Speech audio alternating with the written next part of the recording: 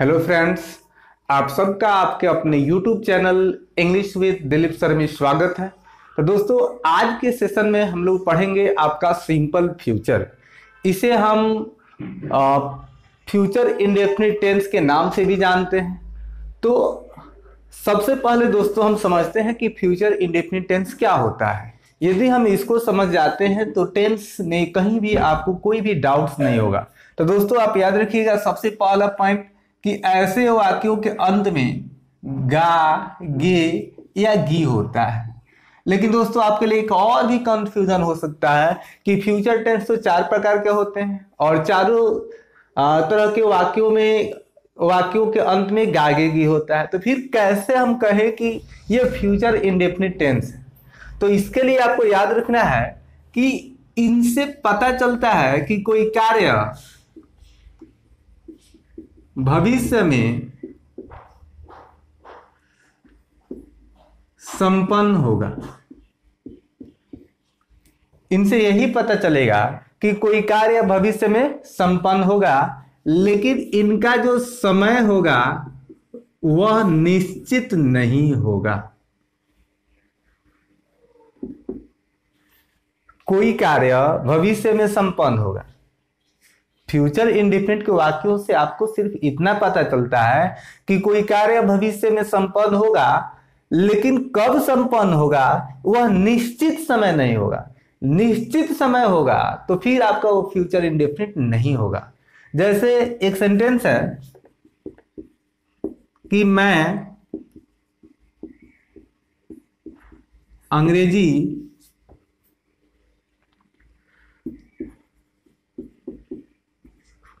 सीखूँगा। मैं अंग्रेज़ी सीखूँगा। तो मैं अंग्रेज़ी कब सीखूँगा? यह निश्चित नहीं हो सकता है कि मैं अंग्रेज़ी नहीं भी सीखूं। तो इसी प्रकार आपको याद रखना है कि जैसे वह कल आएगी। वह कल आएगी। तो ये निश्चित नहीं कि कल वह आएगी। हो सकता है कि कल वह नहीं भी आएगी। तो इसका समय निश्चित नहीं है, ये भविष्य में संपन्न होगा, इससे जारी का बोध नहीं होगा। ठीक है? तो इतना याद रखना है। अब दोस्तों, हम बात करते हैं इसके स्ट्रक्चर की। तो आपका जो पॉजिटिव स्ट्रक्चर होगा, जो आपका पॉजिटिव सेंटेंस होगा, उसमें आता है आपका सब्जेक्ट प्लस सेल या will plus verb one plus object या अदर वर्ड भी आप बोल सकते हैं। तो ये रहा आपका पॉजिटिव सेंटेंस अर्थात सकारात्मक वाक्य। तो इसमें आपका नॉट नहीं आएगा। तो दोस्तों, इसके लिए कुछ एग्जांपल्स लेते हैं। जैसे, मैं घर जाऊँगा। चाहे मैं घर मैं घर जाऊँगा। तो यहाँ पे आप बोल सकते हैं कि हो सकता है कि हम नहीं भी जाएँ, और भी वाक्य लेते हैं।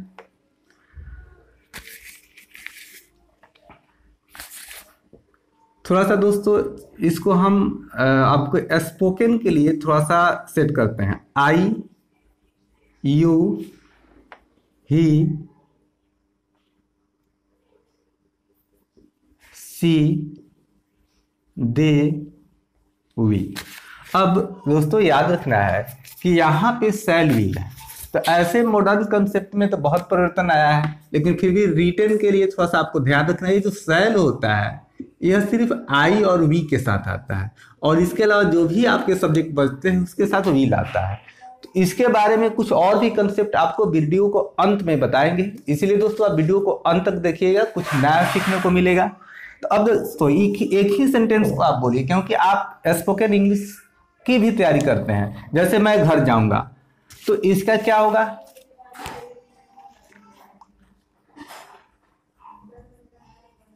आई सेल गो हो मैं घर जाऊँगा। अब इस सेंटेंस को इस पे सेट करना है जैसे आई we he C they we तो मैं घर जाऊँगा तो अब इस सब्जेक्ट को हटाइए।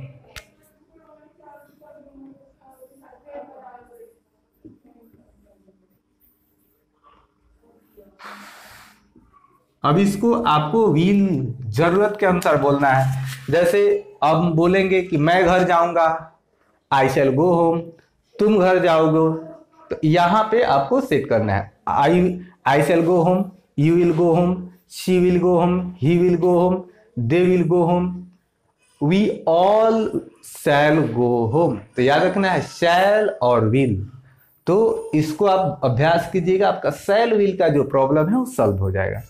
तो आप प्रोनाउन का प्रयोग कीजिएगा किसी भी स्ट्रक्चर को स्पोकन को याद करने के लिए। तो मैं घर जाऊँगा। अगला सेंटेंस लेते हैं, जिसमें जैसे, वह कल आएगी। जल्दी से बनाइए दोस्तों। वह कल आएगी। वह कल आएगी। वह कल आएगी।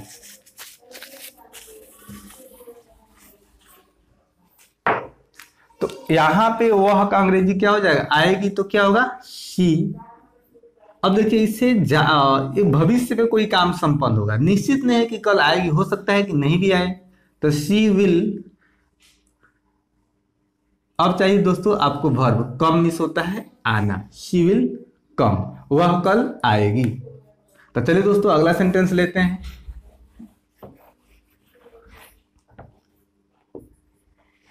अगला सेंटेंस है जो दोस्तों, आप जल्दी से बनाएगा इसको कि तुम्हारा भाई इस कमरे में सोएगा। तुम्हारा भाई इस कमरे में सोएगा। दोस्तों, देखिएगा, अंत में गागे भी आ रहा है। भविष्य में कोई काम संपन्न होगा, लेकिन निश्चित नहीं है। तो तुम्हारा का दोस्तों होता है योर। कैपिटल लिखेंगे? योर ब्रदर अब दोस्तों, यहाँ पे हम जिसकी बात कर रहे हैं ना, उसी के अनुसार भर आता है। तो आप, ये योर सब्जेक्ट नहीं है ब्रदर सब्जेक्ट है।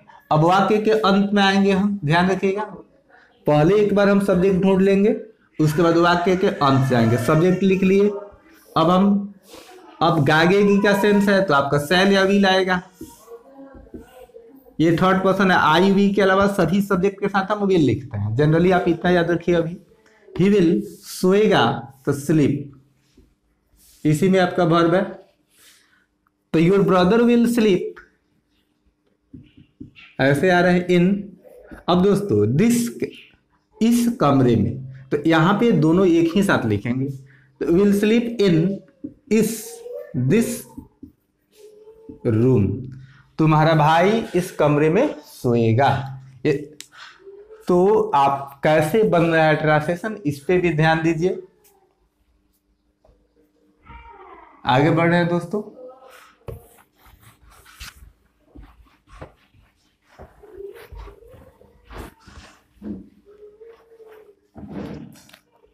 अगला सेंटेंस है आपका।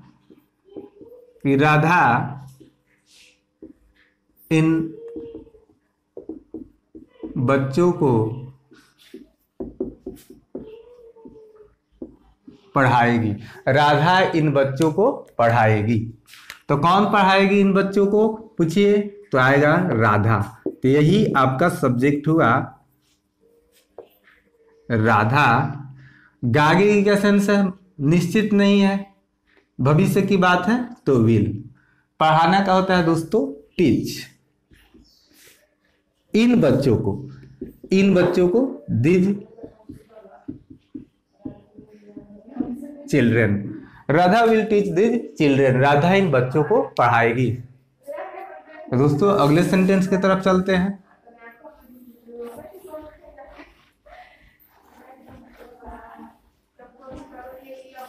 अगला सेंटेंस आपका? कि मोहन इस पुस्तक को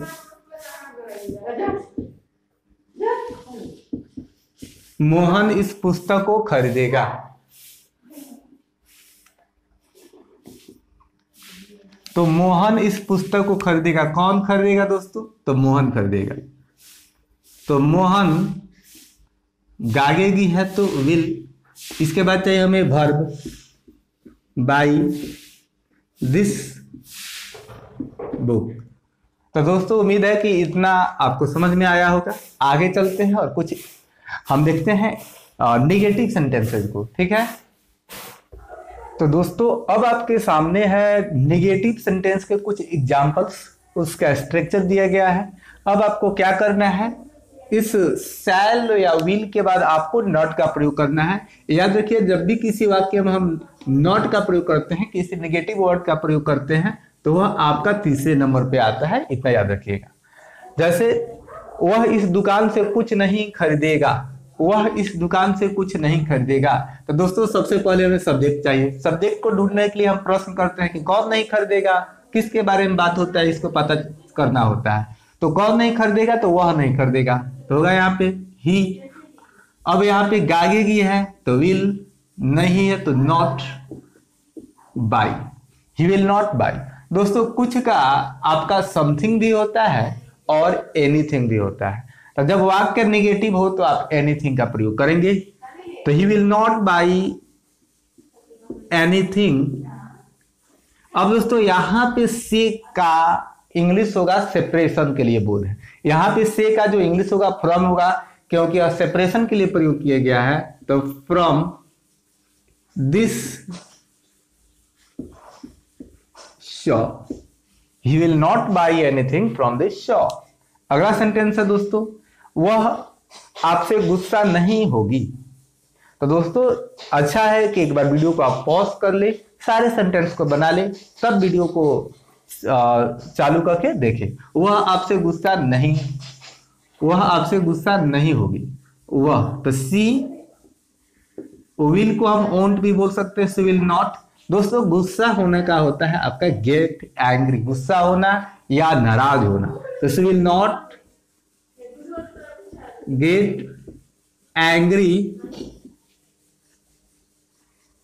with you. यहाँ पे गेट दोस्तों आपका वर्ब वन है, ठीक है? हम लोग सैर के लिए नहीं जाएँगे।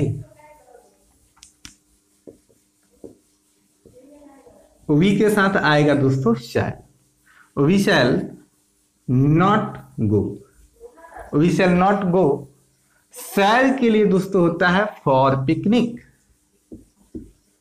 for picnic we shall not go for picnic देखिए दोस्तों, हिंदी कैसे निकलेगा? हम लोग सैर के लिए नहीं जाएँगे।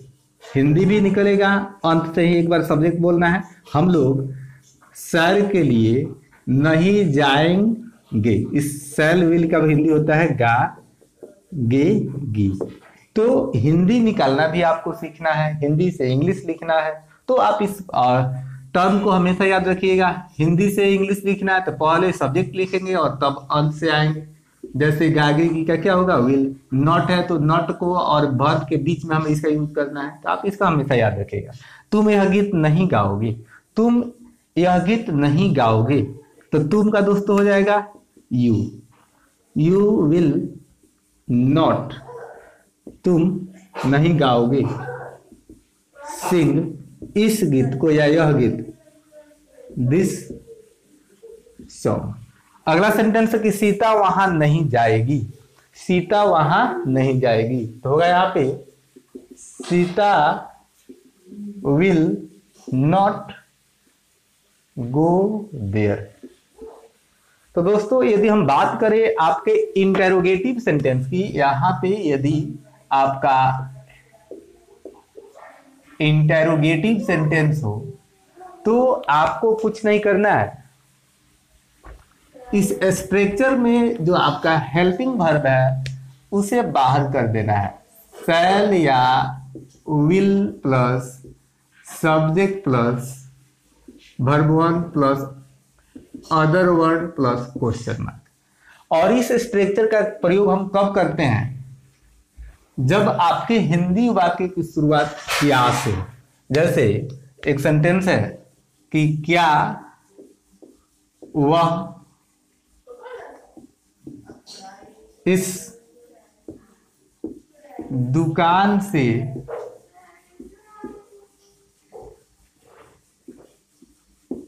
कुछ नहीं खरीदेगी? आपका रहेगा क्वेश्चन मार्क। तो आपके हिंदी में जो देखना है, ये ध्यान रखना है कि जब आपकी हिंदी वाक्य की शुरुआत क्या से हो तो हम हेल्पिंग वर्ब को सब्जेक्ट से पहले रखते हैं। We put helping verb before the subject always take it in your mind तो क्या है? तो आपका सब्जेक्ट का आंसर आएगा सैलरी तो वह है तो यहाँ पे आएगा आपका विल ही नॉट बाई कुछ? सेम सेंटेंस है? एनीथिंग फ्रॉम दिस शॉप आएगा आपका क्वेश्चन मार्क तो जो भी सेंटेंस आप लिखे थे निगेटिव में, उसको दोस्तों आप इंटेरोगेटिव बना के खुद अपने से बनाइएगा। अब चलिए इसको हम बताते हैं। अब आपका जो डब्ल्यू एच इंटरोगेटिव होगा डब्ल्यू एच इंटरोगेटिव में क्या होता है दोस्तों? इसमें आपकी हिंदी वाक्य की शुरुआत क्या से नहीं होता है? उसमें वाक्य के अंदर क्यों, कब, कहा, कैसे, जैसे शब्द आते हैं। जैसे वह